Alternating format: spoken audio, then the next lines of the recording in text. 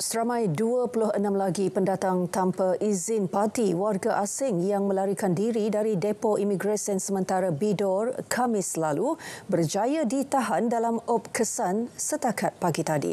Ketua Polis Perak Datuk Seri Muhammad Yusri Hassan Basri dalam kenyataan memaklumkan jumlah keseluruhan tangkapan kini adalah seramai 86 orang daripada 131 jumlah keseluruhan orang tahanan yang lolos.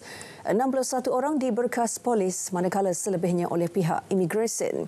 Daripada jumlah itu, dua orang meninggal dunia akibat kemalangan jalan raya. Menurut beliau, operasi memburu 43 lagi baki tahanan terus dipergiatkan. Tangkapan semula dilakukan di kawasan kilometer 326.2 Lebuh Raya Plus arah utara, RNL arah selatan Tapah, rumah kongsi projek Felkra Sungai Gempel Bido, kampung orang asli Kenoh Tapah, kawasan pos Woh Jalan Pahang Tapah dan kampung Batu Melintang Tapah.